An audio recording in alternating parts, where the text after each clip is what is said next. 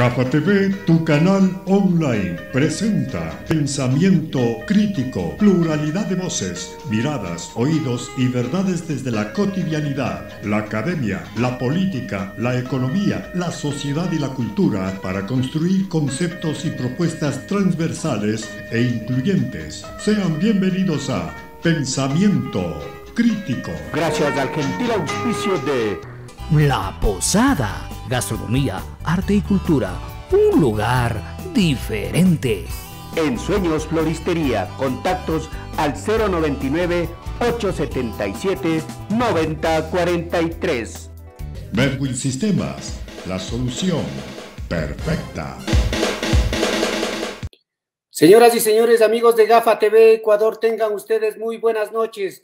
Gracias por estar siempre pendientes de Pensamiento Crítico, el programa de opinión de GAFA TV Ecuador. Nos pueden seguir en Facebook, en Twitter, en Instagram, en YouTube.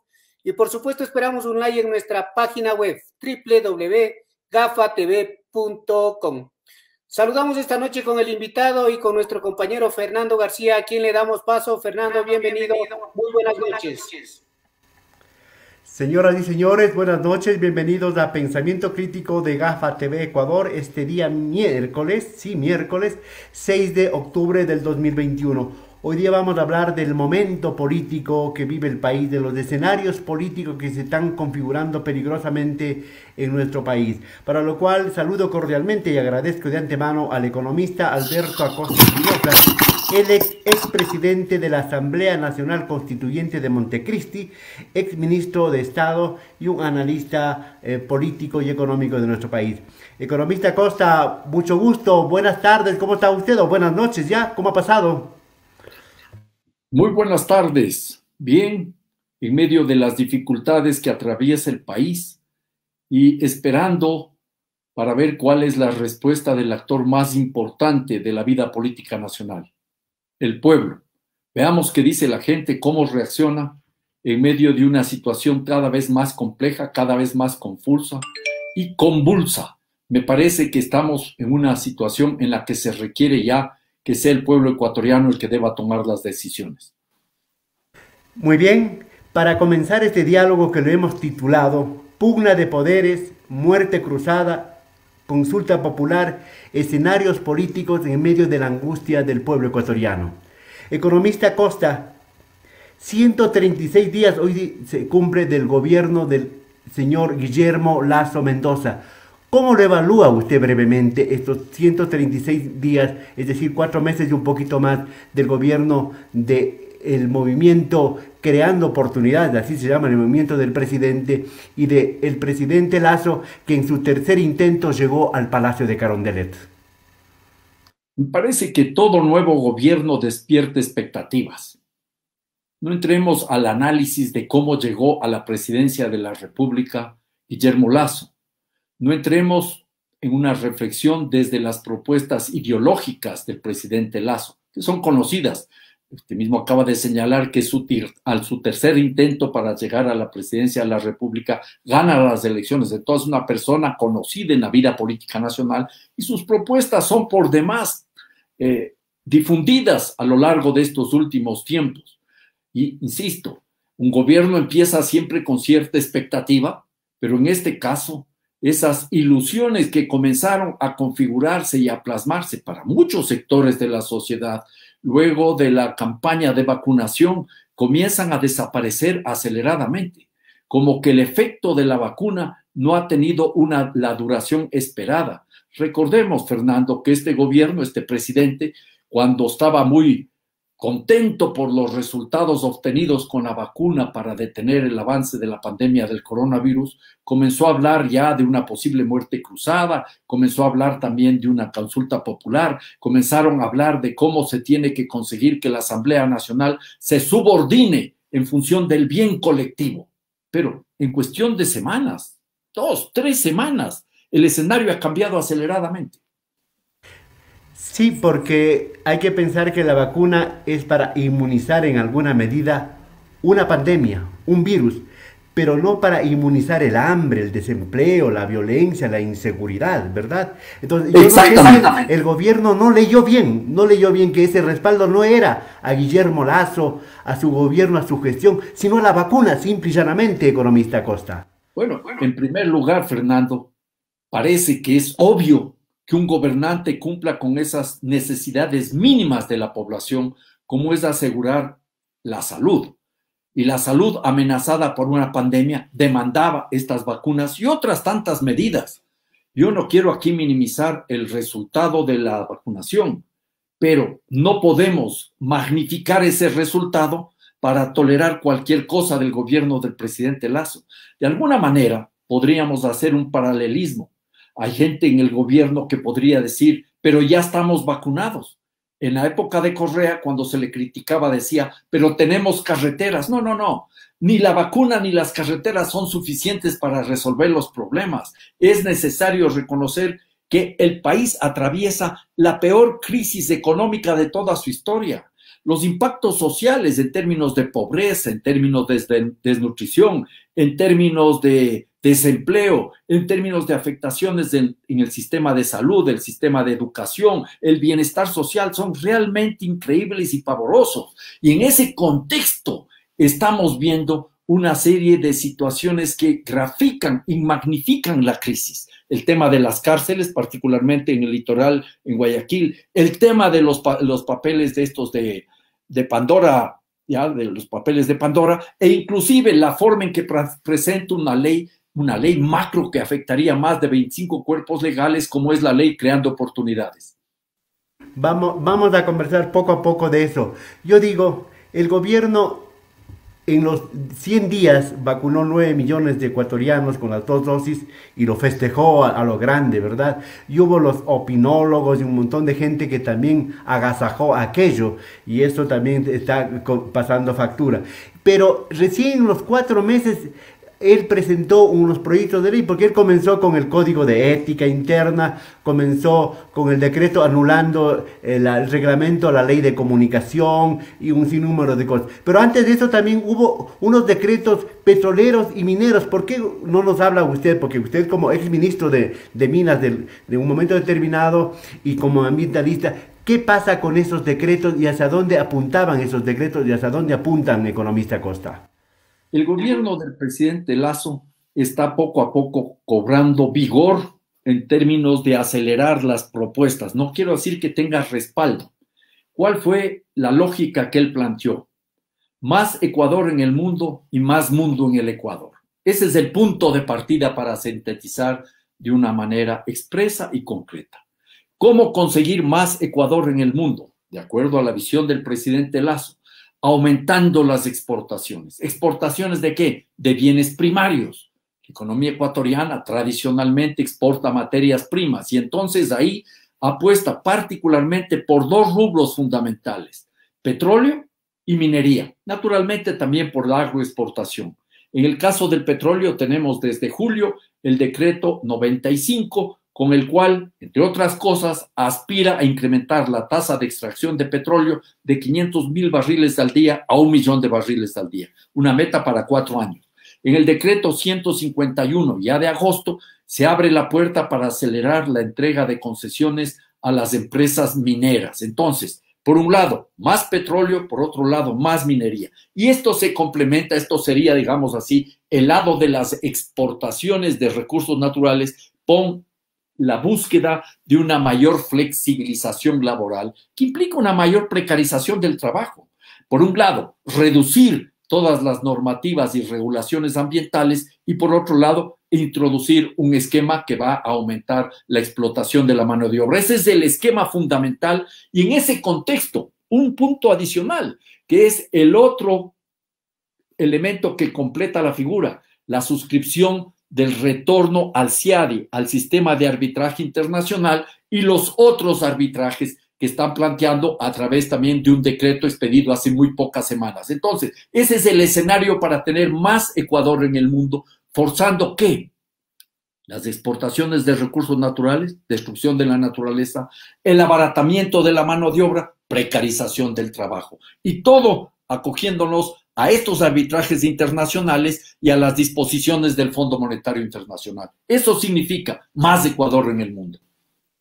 En todo caso, en todo caso, economista Costa, el presidente Moreno también dejó de alguna manera preparando la mesa, el terreno para todo este tipo de cosas, ¿verdad? Sin lugar a dudas, sin lugar a dudas, Fernando, eso es claro, pero evidentemente también el presidente Correa hizo lo suyo. Por ejemplo, el presidente Lazo está empeñado en suscribir tratados de libre comercio. Pero quien firmó el primer tratado de libre comercio y dejó abierta la puerta para los TLCs fue el presidente Correa que suscribe un tratado de libre comercio con la Unión Europea en el año 2016. El presidente Correa también comenzó a transitar por la senda de más extractivismos. Él es el que impone la mega minería en el país y comienza a, entregar los campos petroleros. Y adicionalmente, no nos olvidemos que Lazo también tiene entre sus políticas la reducción del tamaño del Estado planteando una serie de privatizaciones. El presidente Correa entregó también los campos petroleros a empresas transnacionales en todo caso, como que va encadenado, atado de los últimos gobiernos, todo este desbarajuste que sufre el país. Vamos avanzando. Estamos conversando con el economista Alberto Acosta Espinosa, expresidente de la Asamblea Nacional Constituyente de Montecristi. Bueno, ahí viene ya el Plan Nacional de Desarrollo, pero que viene después de la, eh, de la presentación de la, del proyecto de, presupuestos de la propuesta presupuestaria. Pero primero se puso los zapatos, después las medias del presidente, porque primero debía haber enviado el plan de desarrollo, pues, ¿verdad? lo lógico es que presente la proforma presupuestaria del año 2021 conjuntamente con el plan de desarrollo. Eso manda la Constitución.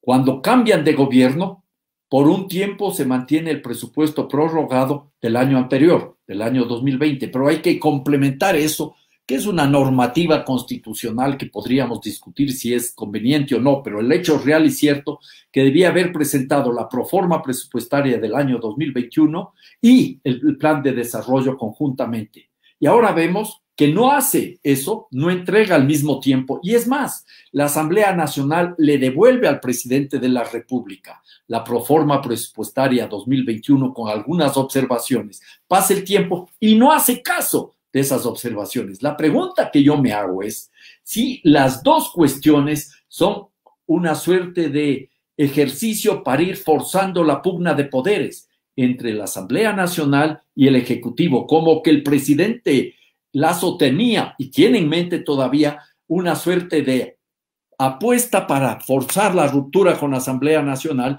para provocar una consulta popular o quizás la muerte cruzada.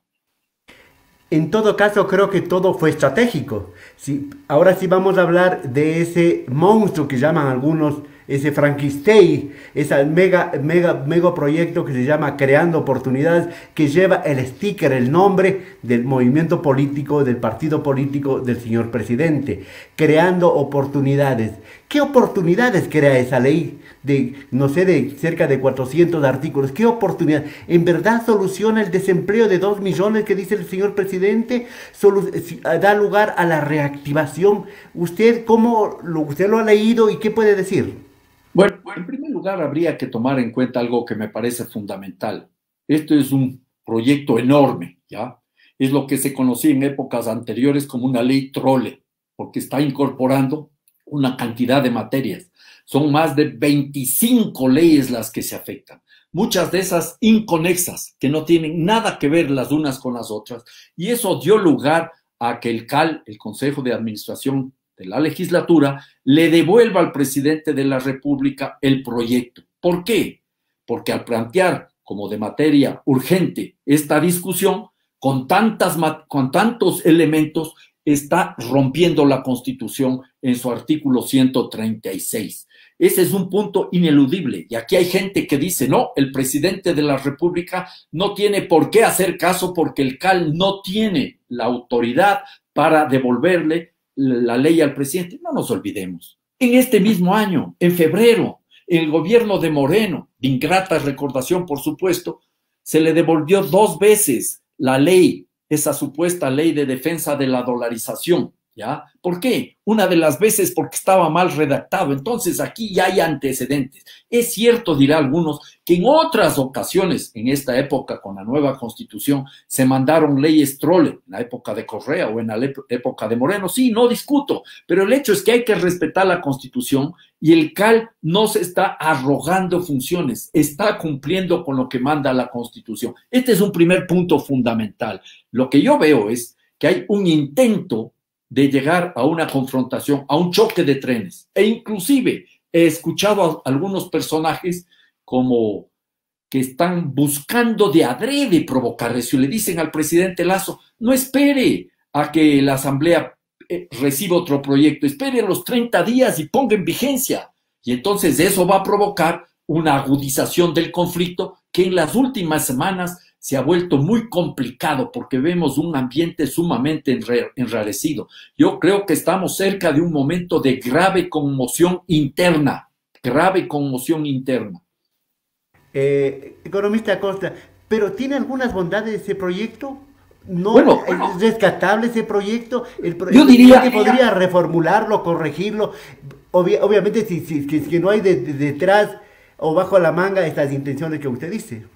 Mira, a mí me parece que hay cosas que se podrían discutir. Hablemos de la parte laboral inmediatamente, que creo que es donde está el mayor problema de este proyecto, porque lo que pretende el presidente Lazo de una u otra manera es introducir una suerte de concertaje, el concertaje del siglo XXI, atropellando los derechos laborales. Pero donde yo rescato algunos elementos para conversar es en el ámbito tributario.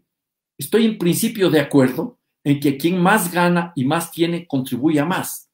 Cuando él plantea, por ejemplo, que los grandes patrimonios hagan una contribución durante dos años, estoy de acuerdo. Estoy de acuerdo en principio que quien gana más contribuya más, pero de una manera equitativa, porque tal cual está planteado en el proyecto, las clases medias van a pagar más proporcionalmente que los sectores más acomodados. Por ejemplo, una idea alternativa, quien gana más que el presidente de la República no debería pagar solo hasta el 35% de impuesto a la renta, sino que el impuesto a la renta debería comenzar a subir progresivamente hasta el 45-50%.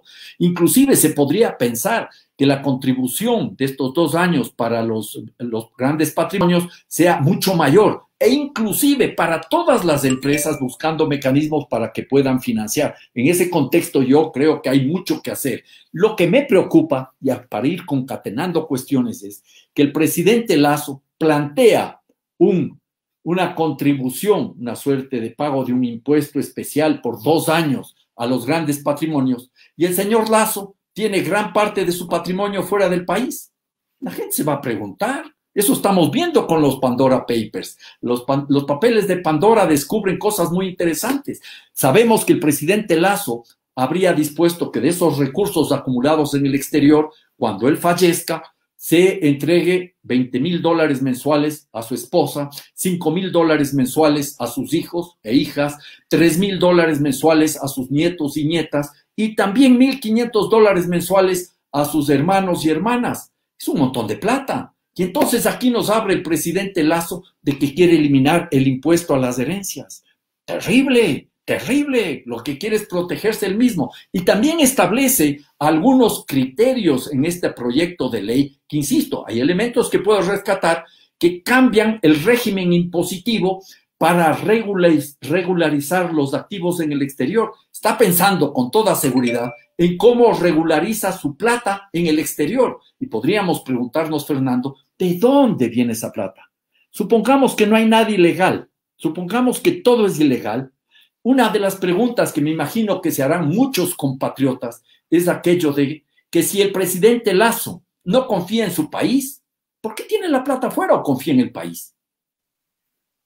economista, quería, el presidente dice que él el 2017 se deshizo de esos, de esos papeles. Entonces, ahí vienen tres preguntas que yo me he hecho. Uno, si él no era candidato presidencial en el 2017 y no había esa ley que, estipulaba que no pueden ser candidatos aquellos que tienen eh, eh, plata en los offshore, entonces él no se deshacía de eso. Una.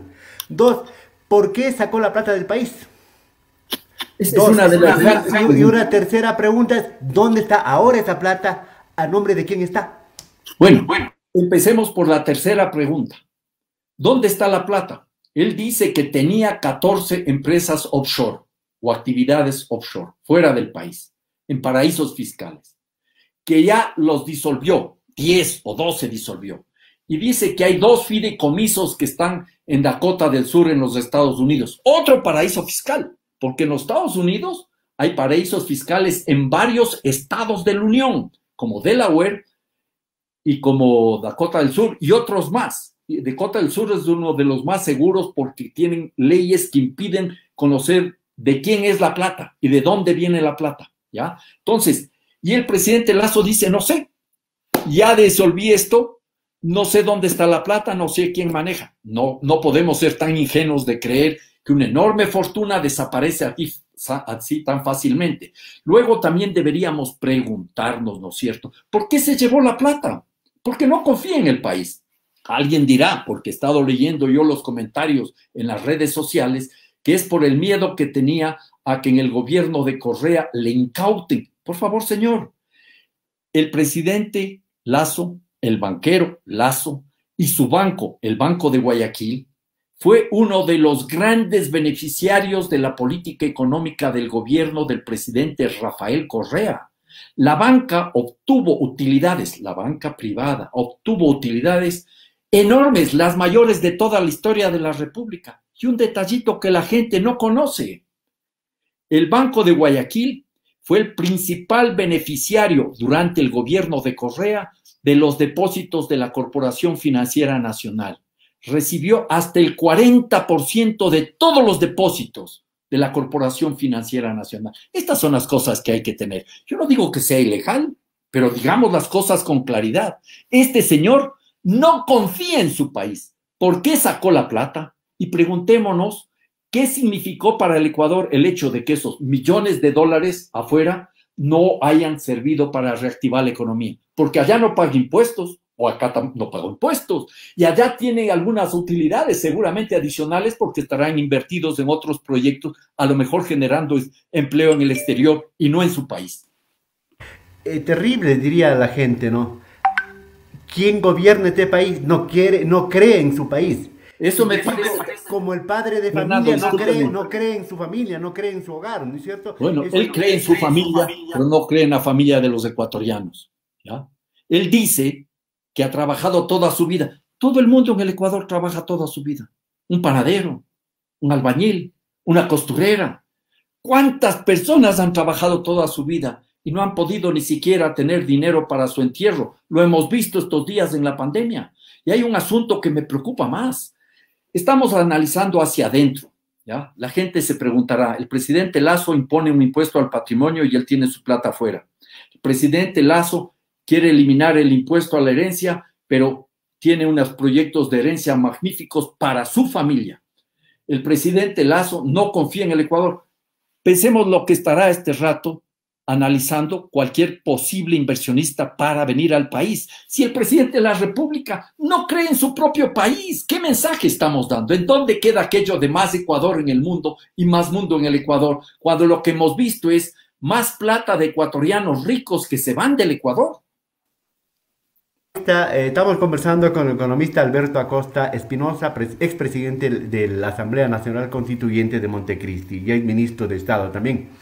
En este panorama, en este escenario, entonces estamos entre la muerte cruzada o la consulta popular, pero tenemos ahí no sé si dos trenes. La asamblea está desprestigiada, la imagen desde adentro está desgastada y obviamente desde afuera también lo están desgastando. El gobierno se empecinó en la vacuna que estuvo muy bien porque era su obligación, pero se durmió eh, pero un poco se durmió los laureles de la vacuna. Son dos trenes un poco desprestigiados. ¿Qué va a pasar con el país? Bueno, el tema acá es que estamos, como dije hace unos instantes, construyendo un momento de grave conmoción interna y eso puede abrir la puerta a muchas situaciones, no solo violentas, sino a otro tipo de salidas políticas. La propuesta que había argumentado el gobierno de una consulta popular es muy difícil de llevar a cabo, no digo que imposible.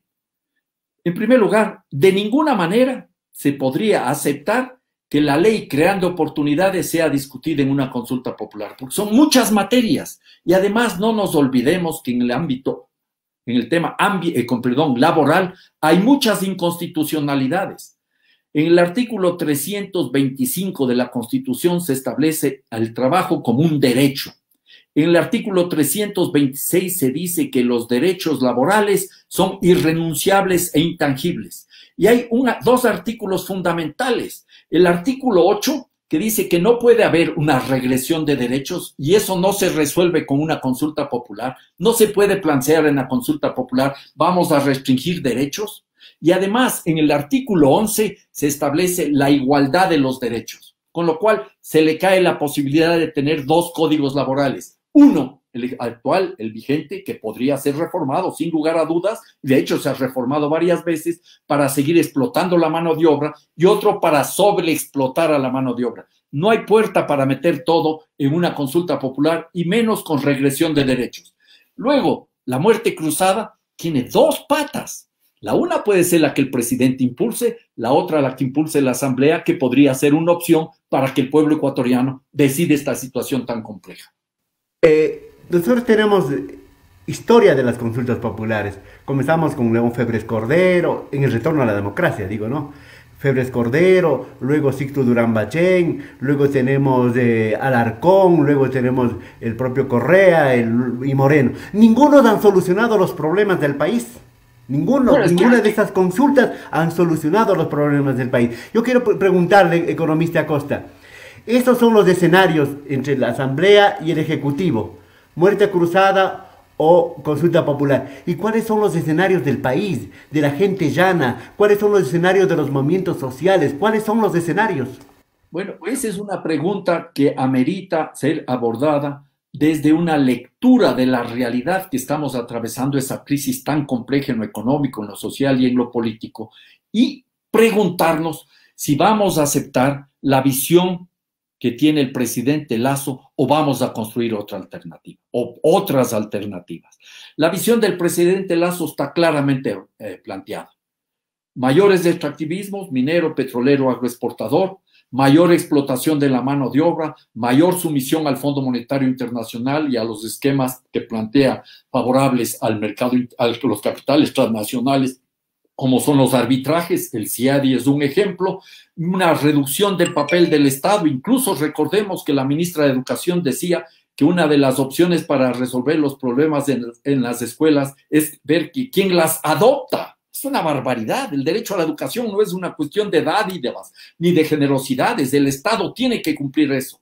Y estamos viendo que el gobierno del presidente Lazo nos ofrece un camino Veamos si el pueblo ecuatoriano quiere apoyarle. Yo sí creería que este rato, con todo lo complicado que es, que se abra la puerta a que el pueblo decida. La, la muerte cruzada puede ser una gran opción. ¿Por qué? Porque tenemos la posibilidad de cambiar de presidente o buscarnos una presidenta, o si el pueblo quiere ratificar al presidente Lazo y de cualquier manera oxigenar la Asamblea Nacional. Y me parece que hay que estar muy atentos a no caer en supuestas soluciones. Por ejemplo, la bicameralidad. Por, ejemplo, reducir el tamaño de la Asamblea Nacional. Y esas no son soluciones, esos son fuegos de artificio para engañar a la gente. Economista Acoste, el lunes pasado hubo una reunión, una cita, un encuentro, no sé cómo llamarle, entre la CONAIE, y el gobierno nacional. No salió nada positivo, dice la CONAIE, el gobierno dice que algo fue exitoso. ¿Cuál es ese futuro de ese encuentro, de ese diálogo? Porque el presidente ha estado vendiendo ese, ese nombre, ese eslogan de el gobierno del encuentro. Lo que nadie sabe es con quién se encuentra, en dónde se encuentra y para qué se encuentra. ¿Tiene futuro esos encuentros? Mire, sí sabemos con quién se encuentra y cuál es el futuro de esos encuentros se encontró con las cámaras de minería, con la gran cámara de la minería, y al poco tiempo expidió el decreto 151, el decreto minero. Se encontró también con los sectores petroleros, al poco tiempo expidió el decreto 95. Se ha reunido con las grandes cámaras de la producción y vamos viendo qué es lo que va saliendo, esta propuesta laboral, por ejemplo, que eso es algo que vienen planteando desde hace mucho tiempo atrás todos estos integristas o fundamentalistas de mercado Lo que sí veo yo, y aquí hay un asunto que está muy claro, es que el encuentro es con el Fondo Monetario Internacional, el encuentro es con las grandes empresas transnacionales, el encuentro es con los mercados externos, pero no hay un encuentro con los sectores populares y sociales, un encuentro genuino, quiero decir, que les vaya a escuchar para asumir esas propuestas e impulsar un cambio diferente. Eso no veo. Es un, un, gobierno del encuentro con el gran capital. Eh, economista, vamos terminando y le pido a mi compañero productor Galo que me regale unos minutitos.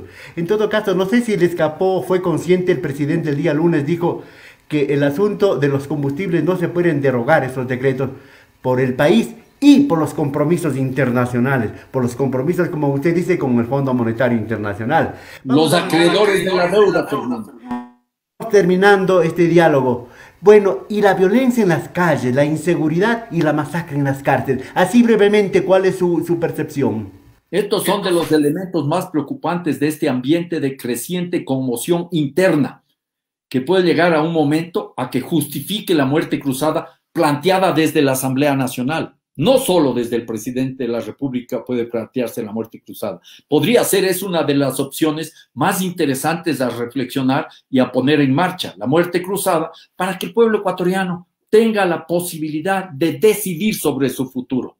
Tal como van las cosas, se va a seguir agudizando la violencia de todo tipo, no solo en las calles, no solo en las cárceles, sino también la violencia propia de los extractivismos, de los autoritarismos y la que provoca el neoliberalismo.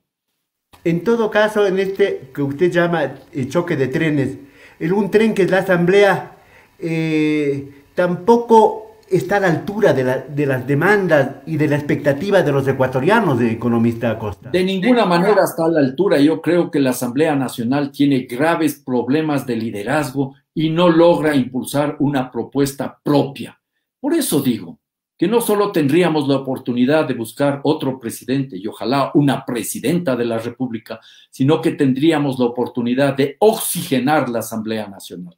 Y ojalá en esta ocasión hagamos las cosas bien y podamos impulsar un cambio que demande el pueblo ecuatoriano. La situación es muy compleja y no podemos tener un permanente conflicto de poderes que va a impedir la resolución de los problemas.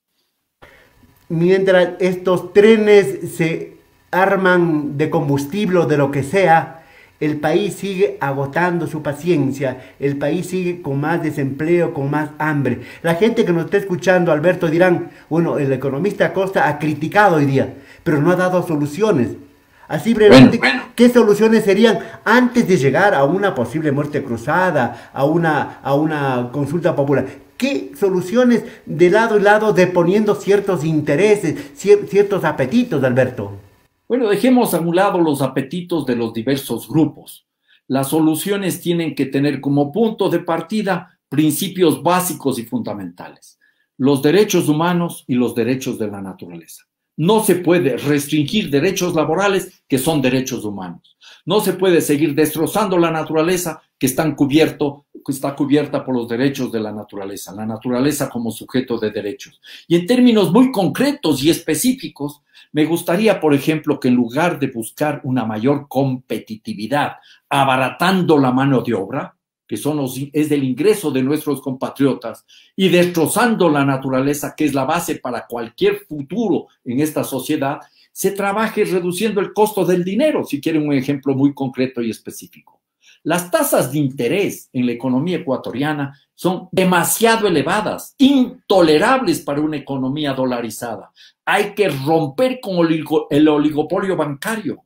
Y entonces el banquero presidente no da una respuesta al respecto. Y si hay salidas, no solo es una cuestión de ley. ¿Por qué no conformar un gran frente de banca pública, estatal, que es la CFN y el Ban Ecuador, incorporar a la banca pública no estatal, que es el BIES, el Instituto Ecuatoriano de Seguridad Social, incorporar a las cooperativas de ahorro y crédito y a las cajas comunales, más el Banco del Pacífico, que actúa como banca privada, pero es del Estado ecuatoriano, es de nosotros. Y entonces, en ese escenario, se podría intervenir bajando las tasas de interés, canalizando recursos a las empresas medianas y pequeñas, porque no hay que olvidarse, las pymes generan más del 90% del empleo. Las empresas de nueve a una persona generan más del 70% del empleo. Y hay que pensar en el agro, en los campesinos y en las campesinas. Allá hay que llegar con créditos en condiciones adecuadas, masivos. Hay que garantizarles el acceso a los mercados. Hay que asegurarles que puedan mejorar sus, sus capacidades de productividad con tecnologías adecuadas. Y todo esto hay que ir haciéndolo con una mayor equidad social.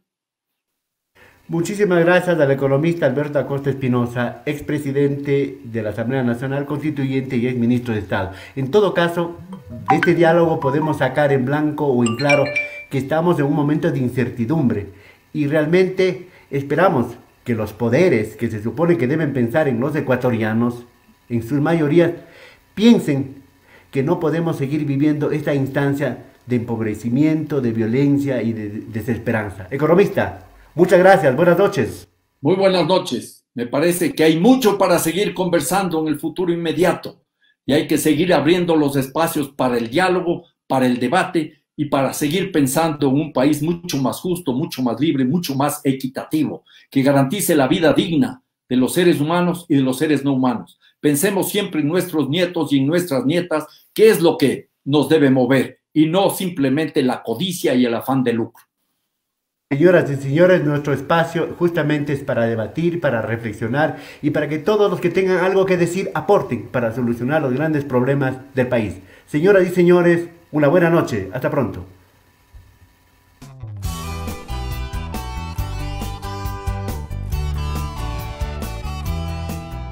Somos Gafa TV Online, la nueva dimensión visual desde Ecuador para todo el mundo.